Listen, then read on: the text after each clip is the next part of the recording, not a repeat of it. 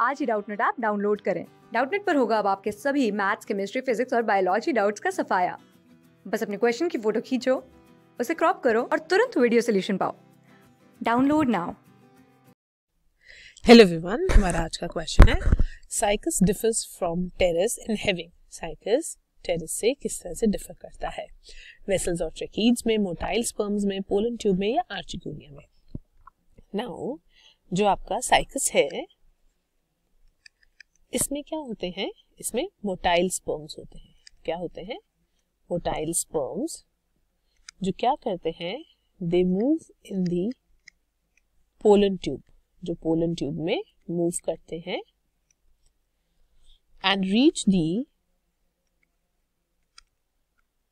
and reach the neck of the archegonium और ये archegonium female जो ऑर्गन होता है, उस तक पहुँच जाते हैं।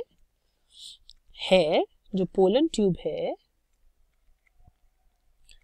it act as haustorium pollen tube act as haustorium whereas आपके यही पाइनस में टेरिस जो है, इसके अंदर क्या होता है? नॉन मोटाइल स्पर्म्स होते हैं। क्या होते हैं? Non motile sperms are carried to the mouth of Archegonia to the mouth of Archegonia through pollen tube. अब भी पोलन ट्यूब के थ्रू जो आपके नॉन मोटाइल स्पर्म्स है वो कैरी होते हैं और यहाँ पे pollen tube act as sperm carrier and haustorium जो पोलन ट्यूब है इट एक्ट एज ये स्पर्म कैरियर भी होती है। क्योंकि उसमें क्या होता है? उसमें मोटाइल स्पर्म्स होते हैं। ये एक्ट करती है एज अ स्पर्म कैरियर और हॉस्टेरियम हॉस्टेरियम का मतलब क्या होता है?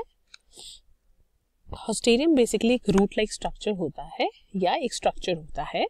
जो ग्रो करता है इनटू और अराउंड अनदर स्ट्रक्चर क्या करता है? इनटू या अराउंड अनदर स्ट्रक्चर के ग्रो करता है, ताकि ये वाटर और न्यूट्रिएंट्स को एब्जॉर्ब कर सके।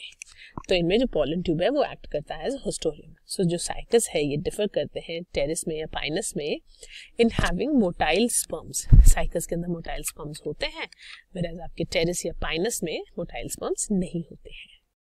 क्लास सिक्स से ट्वेल्थ से लेके NEET I I T JEE Mains और एडवांस के लेवल तक। दस मिलियन से ज़्यादा स्टूडेंट्स का भरोसा। आज ही डाउनलोड करें डाउट नेट आप या व्हाट्सअप कीजिए अपने डाउट्स आठ चार सौ चार सौ चार सौ पर।